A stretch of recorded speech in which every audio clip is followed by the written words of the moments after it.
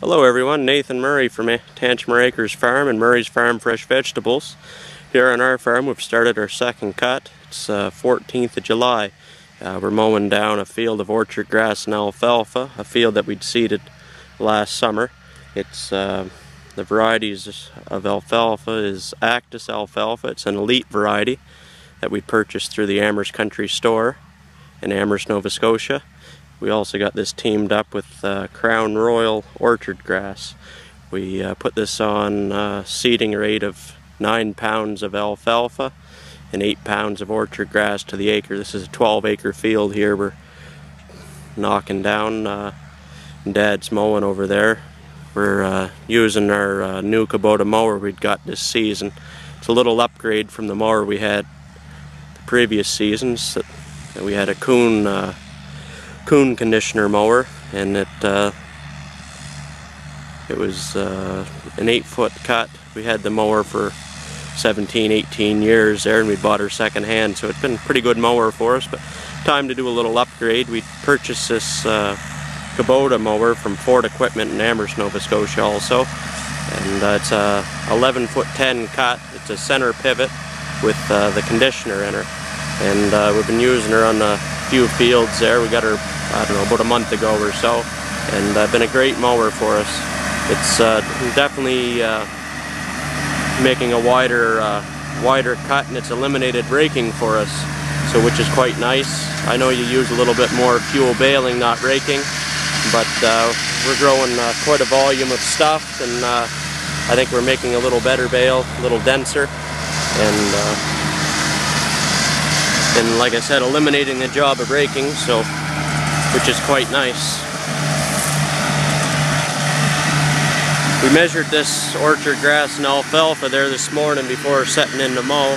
Uh, the alfalfa measures right around 30, 31 inches in height.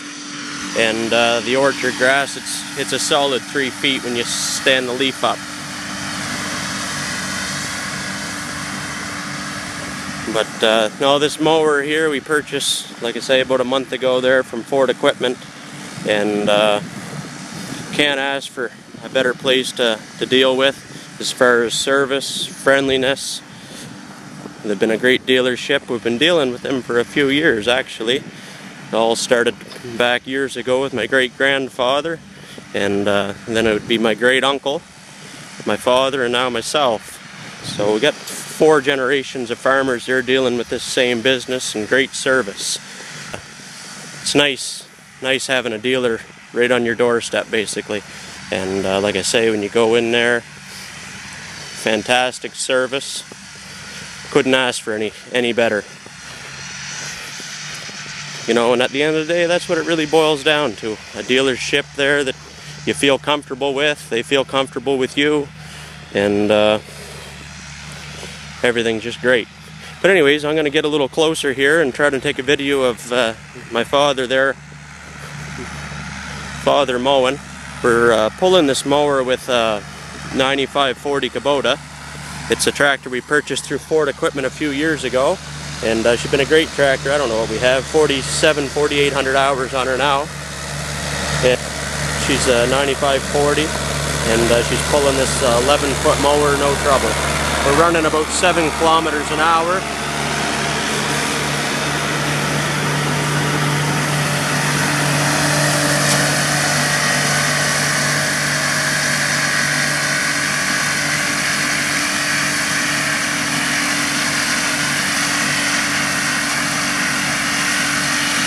So we're looking forward to feeding this stuff. Orchard grass and alfalfa has been a crop we haven't grown in my lifetime. Dad had grown it probably 25, 30 years ago. Remembers back and thought we'd give her another try. They've come a long way with varieties there, a lot of genetic testings and all that stuff. Here on our farm, when we seed stuff, we use all certified seed. I think it gives you that edge, especially when you have your fertility and all your nutrients up where they should be. Those plants really start to thrive and you see the dividends coming back in crops like this. Like this is the second cutting. Our first cutting we took on the 6th of June. And uh, here it is the 14th. Like I said, we're taking our second cut. And uh, we'll be taking another cut and possibly a fourth if we can, if the timing works out for us. But this stuff here, we'll be feeding it to our uh, calves. We like to creep feed with lots of forage. I think it makes quite a difference. We calve start in November, December, January. This, this here gets, gets our rumens going. And uh, when the calves hit pasture season there, they can really consume and gain up well. On our farm here for 10, 11 month old calves, our aim is 900, 1,000 pounds. And that's quite achievable, you know, with good forage and good pastures.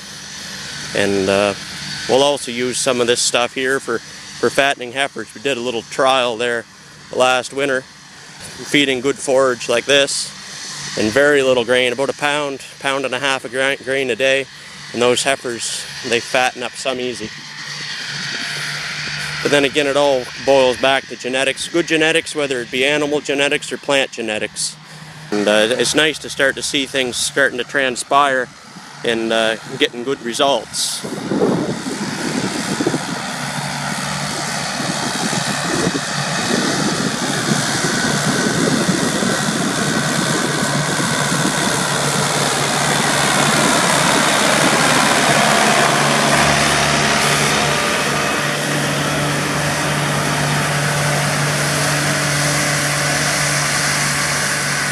But if anyone's looking for uh, good equipment and good service, check out Ford Equipment, Amherst, Nova Scotia. And if you're looking for good, good seed to grow, you check out Amherst Country Store. They've got a good lineup of seeds and all your needs.